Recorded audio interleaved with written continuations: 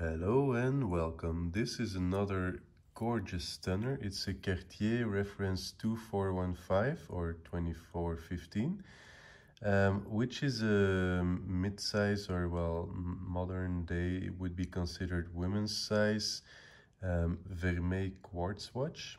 So it, uh, well, vermeil means it has a solid silver case, which you can tell here by the Argent 925, uh, which has been gold plated. Um, this one, as I said, is mid-size. It is 22 millimeter width without a crown and 30 millimeter from top to bottom, well, from lug to lug.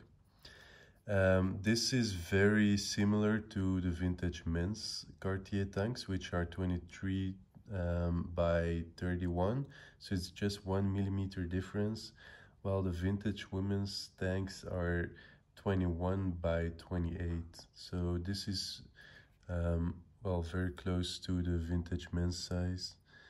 Um, this one is from the early 2000s and it has an amazingly gorgeous dial I'm gonna see if I can capture it on camera but as you can see in the center it has the Cartier logo um, etched very subtly and along with the blued hands that part just pops so amazingly.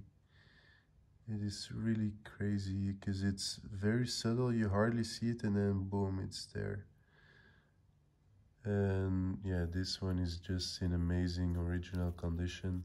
The strap is aftermarket as you can see but the watch itself is just really really beautiful